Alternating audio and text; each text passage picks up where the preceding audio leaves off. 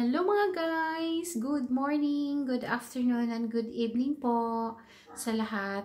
Kumusta po kayo? Sana okay po kayong lahat guys. This is Simply Net Simple Lifestyle Vlog. Welcome to my YouTube channel. Today is Saturday po. Tapos maglalaba po tayo.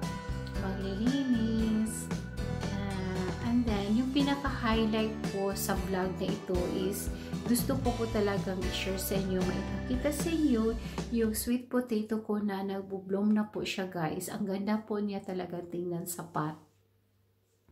In my previous vlog na may pamagat na uh, green tea slash seedling, so napa, napa uh, kita ko po doon yung sprout at isa na po doon yung mga uh, sweet potatoes ko guys. Yung sweet potatoes ko is dalawang variety po yon orange at saka yung violet.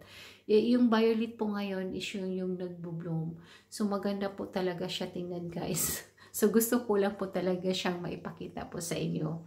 Tapos yung dahon ng uh, kamote, gusto ko siya gawin ng apay. So apay in my Bisaya term. So yun yung ibubuan mo yung dahon ng kamote tapos lagyan mo siya ng vinegar, asin, kamatis, or loya, or so, ang sarap nun guys.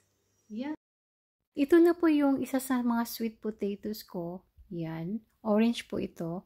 So, as you can see, yung stalk niya is lighter than the other one. Hindi pa po marami ang dahon. Ang ganda tingnan na sapat. So sa may bintana ko to nilagay kasi direct ng sunlight. So mas gusto nila na iinitan. At ito naman yung violet yung kulay. As you can see, yung stalk niya is violet din ang kulay, di ba? Yan. So, marami siyang mga dahon. But actually, napag-isip ko na hindi ko muna kunan ng dahon. So, hihintayin ko muna na lumalaki yung mga maliliit na dahon, guys. So, wala mo ng apay this time.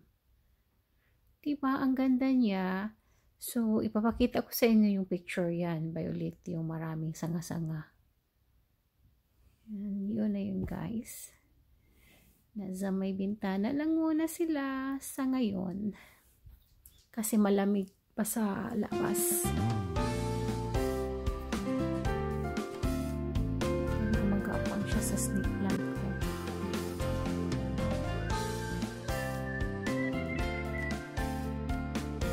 guys, na-overwhelm po talaga ako at na-appreciate ko yung effort nyo na uh, pinapanood nyo yung mga videos ko. Lalong-lalo na po yung pagsasubscribe nyo sa channel ko guys. Maraming maraming salamat po. So hindi ko inaakala talaga. Uh, I am very much thankful po sa inyong lahat guys. God bless you all.